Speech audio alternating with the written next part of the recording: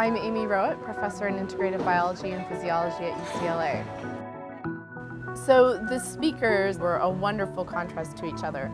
Christina started out talking about her approach to making dessert and creating dessert, which actually follows a very scientific method in setting out to create something that's innovative, create a dessert that's, uh, that's different than everything else you might find in a bakery in New York. Um, cereal milk, um, unfortunately, or fortunately for us, but unfortunately for the scientific process, was very simple to make.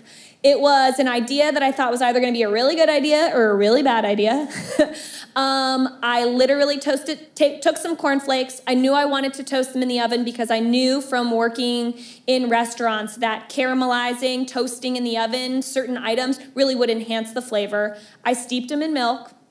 I strained them off and then I seasoned them a little bit with a little light brown sugar and a little salt just to round out the edges to really sharpen that flavor. And it was pretty much a done deal. But a lot of the other things that we make at Milk Bar go through a much more vigorous um, question asking and testing process before we actually decide whether or not it's successful. Um, we make this pie called crack pie. Crack pie is sort of like the anti pie in traditional baked goods terms. Crack pie is a mix of inspiration, gooey butter cake, which is a St. Louis dessert. Um, it's exactly what it sounds like. It's gooey, buttery cake. It's a little underbaked in the center, so it's gooey and rich and seems incorrect, but oh so right. Um, it's a mix of this gooey butter cake and chess pie. P- chess pie um, is the pie that you make when you don't have enough apples to make apple pie, and you don't have enough rhubarb to make rhubarb pie, and you don't have enough cherries to make cherry pie. You make the filling that you normally would for any of these pies, but you basically leave out all of the produce or the nuts. Um, and crack pie is our approach to pie. It very much embodies our approach to pie. We don't use a traditional American pie crust. One, because everybody has as as everyone that um, was part of the competition or the question asking process today knows everybody has a different point of view about pie crust it's incredibly difficult to make it's incredibly difficult to get just right and everyone likes a different balance of fats to liquids to salts to the thickness that you should roll out the pie, to the design that you should crimp the pie crust, to the color that the end pie crust should be. Um, so all of our pie crusts at Milk Bar are made in a graham cracker crust style. So we take anything under the sun. For the crack pie, it's an oat cookie or an oatmeal cookie. We grind it down until it's a graham cracker crumb texture, and then we bind it with a fat. We typically use a European style unsalted butter because that's my preferred type of butter. Um, and then we season it with a little light brown sugar and a little salt. And every pie crust that we make at Milk Bar is using this same technique. It's not always using this oat cookie, but it's taking something that's dry, grinding it down into this dry, crumbly like texture, binding it together with a fat that will enhance the overall flavor of the crust, and then seasoning it with a little salt and a little sugar. For me, pie crust, my, my take, my modern day approach on pie crust, if I'm not eating my aunt's apple pie, is that pie crust is an opportunity to surprise and wow and provide texture and flavor that is beyond perhaps your standard traditional American pie crust. It's not because I don't love standard traditional American pie crust, but it's because in order to sort of have a point of view and a perspective and a voice, for me, I needed a bakery that where pie crust would be this not just a vehicle, but its own voice in a pie. Because I was raised by my grandmother and my mother, I, we very much have a waste not, want not mentality in our kitchen as well. I think that the constraints that you can create for yourself in the question asking process and in the uh, scientific and recipe testing process often breeds the most cre- the utmost creativity because you're forced to take something that you see every day and look at it with a fresh perspective and fresh eyes. And that's one of my favorite parts of the approach to creating something new because you can bring anything into your kitchen to make something new with, but the things that you have the utmost attachment with are the most basic ingredients. And when you can make something new with the most basic ingredients that people have a relationship with or strike a chord with, that's when you really get a successful, innovative dessert. Um, a lot of what we like to do at Milk Bar in the creative process is take our favorite staple American baked goods and question them and look at them. Why do we take these apples and the cinnamon and the sugar and the salt and this lemon juice and toss them and just put them in this pie shell? Can I look at it differently? Can I do something with it? Why? Why do we do these things? Um, I was raised to go to school and be a really good student and not to talk back to teachers and not to question them because they are the higher learning power. And I learned so much in doing that the interesting thing was the second that I got out of school and I was able to have my own voice, I stepped back and I looked at everything that I was taught and listened to and followed without questioning, and I questioned it. And not in a disrespectful way, just in a, well, what, well, what if? Why and what if? And I think that that curiosity and that forcing yourself to question every single thing in the creative process is incredibly helpful. Um, you don't need a lot of tools. You don't need a lot of ingredients in your kitchen. You really just need that that wandering spirit and the sort of courage to ask why. And then, of course, the uh, the momentum and the patience to test through and be willing to fail, but also be excited when you succeed because it's an even an equal balance of all of those things. That for me make Milk Bar what it is. It makes our community and our culture and our sensibility what it is. And I think it's what makes a really good dessert and what has very much shaped what the food world is like now. So, there you go. By contrast, Zoe Nathan came with a very traditionalist view of pie uh, that presented her very organic approach to making a pie that should be gooey, should be messy, it should not necessarily look very neat and tidy and pretty, but it should taste really, really good. Now, I am old school. I feel like like an old lady up here with everything I'm about to say. but I believe a baker uses just a few ingredients. Um, and I believe that they know how to use them simply, and I know I believe that they know how to use them with respect. Um, I feel like a really good baker um, isn't bored of flour and isn't bored of sugar and isn't bored of salt and isn't bored of butter. Um, that they just know that through process, they can make an entirely different thing every single day using five ingredients. Um, I also think that um, a baker, which is different from a pastry chef, has to make things that people crave every single day. It's different when you're a pastry chef. You get to make something that somebody's going to have once a week, once a month, once a year. I have to make something that you're going to want three to four times every single week so I can have a business, you know, and I can pay the people who work for me. Um, I feel like what people crave is donuts and croissants and um, you know chocolate cake and apple pie you know? And that's you know it's the same thing. I mean it's the things that you grow up in grow up with and it's, it's your comfort food and it's the things that you feel comforted by. Um, and I, I, it is my job um, to make things that you crave. Um, I personally don't often crave like a white chocolate box filled with like pop rocks and like, you know, oozing some sort of like a foamy, I don't know, strawberry thing. Um, that's just not what I wake up craving. I generally want like a piece of bacon and maybe like a scone and like a latte. But, um, but I am boring, and once again, I'm just telling you how I feel about this. I believe oftentimes that it's harder actually to make something that looks simple on a plate. I think that it's it's easier to kind of make a plate that's very ungapached and you kind of lose what's happening inside.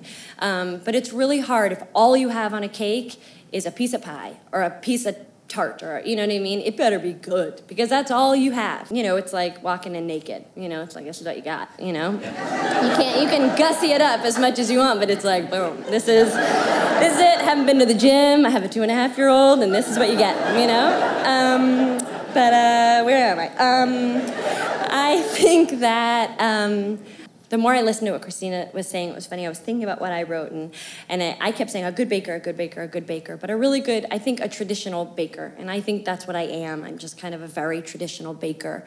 And I think that my job um, is to make really good apple pie and um, is to show people that or is to believe that people are not sick of apple pie that you don't need to like kick it up a notch with like some rosemary and you know, black pepper and cayenne pepper and, you know, bacon fat and, you know what I mean? It's like, it's good. It's been around for an awfully long time for a reason, you know?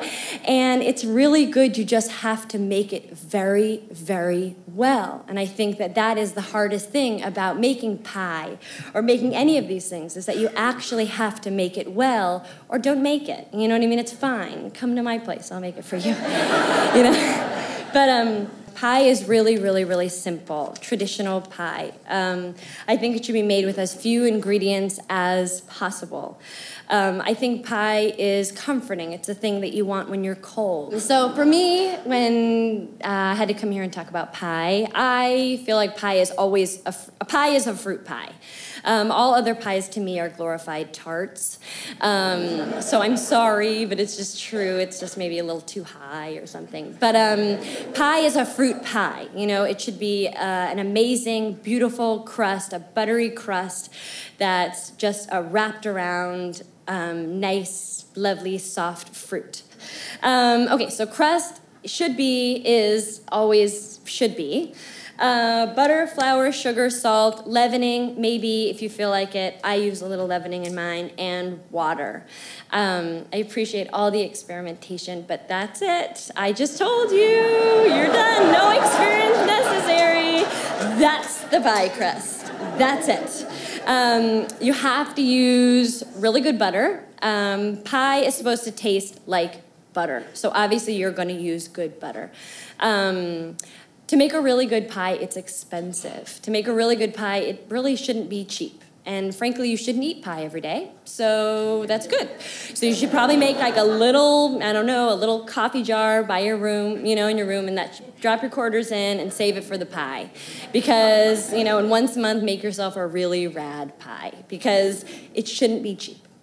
Uh, so get really good butter. Treat yourself right. Good European style butter. Uh, in terms of flour, I always use AP flour, like you were saying. Um, I don't use pastry flour because I think it's annoying. Um, I think it's annoying to have to um, sift it. Uh, anybody who works in my kitchen knows that anything that's annoying, I don't do. Um, I find it annoying. And that's that's the awesome thing about being in charge, is that just one day you're like, I don't have to do annoying things. That's awesome. So we, generally speaking, don't use pastry flour. Uh, every once in a while we do. Um, shortening, don't use it. It's disgusting and it tastes bad. Um, just don't do it. Um, and then sugar, you should never have your pie crust taste like sugar. Um, you don't want it to compete with your fruit. You always, but you do want a little, little, little bit. I'm talking like two teaspoons. That's it. That's the max. Um, you want it to just round things out. You don't want it to taste like sugar. Um, and then the most important ingredient in baking, um, in life, in anything, is salt. Um, write this down, make a shirt, tattoo it on your body. I mean, if there's anything that I could bring the world, it is use salt in your crust, please. Um, I think it is so overlooked. I think it is so disrespected. I just think it's so sad. Um, so I will say, if you buy a pastry book um, and there's no salt in most of those recipes, throw it out. It's crap. Um, because no good pastry chef does not have salt. You know, I've seen her book. She has salt all in everything. You know, and like you know, salt, salt, salt. You need it. Um, and I will say that nine times out of ten, if you see another recipe and it does have salt, you're most probably going to have to double it. You know, people just don't put enough salt. Um, salt is not a flavor, you know. Yeah, every once in a while, you know, I make a maple bacon biscuit and it's supposed to taste salty, and I put salt on top of it, or salted caramels, and you know. But generally speaking, salt is not going to be a flavor. It's supposed to be a flavor enhancer. It's going to make your food taste like something. Um, it's going to make your crust not taste like a floury mess. It's going to make it pop. You're going to taste the butter. You're going to taste the crust. You're going to taste, you know, you're going to taste. And I think that um, salt is just the most underutilized ingredient in baking. And I think that it just bums me out so much. Uh, okay, so filling, filling. So to me, like I've said, filling in a pie is, a, is fruit. Um, so I think never use frozen fruit please. Um, it's watery and it's gross, and there's no point. And like I said, making a pie should be expensive. It should be an experience. It should be an afternoon. You know, I almost believe pie shouldn't even be eaten for dessert. It should be, it's an experience. You know, I mean, Mother's Day, all I did, I made a pie, and we had our family over at five in the afternoon, and we ate pie, and then they went away. You know what I mean? And it was like awesome. You know what I mean? And and and that's it. You know, and and and you've had a moment, and it's amazing, and you know and, and so it's pie. It should be, you know, it's a party. But um, so I will say that when making a filling, I think that the most important thing, and I think the biggest, one of the biggest mistakes that people do is they follow a recipe. Um, never follow a recipe when you're making the filling for a fruit pie. Taste your fruit, see how it is, and always add your sugar and always add it with your hand. Don't add it with a cup measure, don't add it with a tablespoon, don't add it. Add it with your hand, mix it with your hand, and keep tasting it. When it starts to taste sweet enough, you know you add your big pinch of salt, and then you add your little bit of cornstarch or your little bit of flour, whatever you want, and as you're adding, don't think about what you want it to look like. And then you put it in your put it in your pie shell. Um, so now is the most important part of baking a pie. And the thing that my second biggest pet peeve in a bakery or as a baker is um, how people bake. Um, they forget that this is also an ingredient. Um, so uh, color is flavor. Without it, you don't have flavor um, it just doesn't work. You know, color and baking time and how your pie looks needs to be treated as another ingredient. It's just as important as salt, sugar, flour, anything. If you forget your color, you didn't make the thing. I mean, it's done. It's not. You know what I mean? It's like it's like you don't have chocolate for your chocolate chip cookies. It's not done. Don't make it. Forget it. Um, if you don't feel slightly nervous towards the end of baking a pie, you didn't do it right. Um, you have to give it color, you know. And honestly, if you're not a baker and you don't do it by trade and you don't really know, buy one of those glass Pyrex dishes so you can lift it up and see the bottom and make sure that it's brown. You know, there's nothing worse than a perfect pie with a blonde bottom. It's just the worst, the worst, the worst.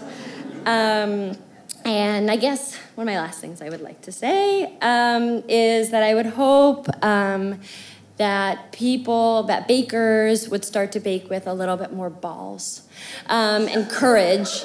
You know, um, uh, I would wish for everybody to throw away their timers and to start to engage all of their senses. You know, smell, is it done? Look at it, is it ready? You know, what's my intuition saying? You know, I oftentimes feel like people, oh, 50 minutes, it's done. You know what I mean? Well, it said it was supposed to be done. Well, it's not done.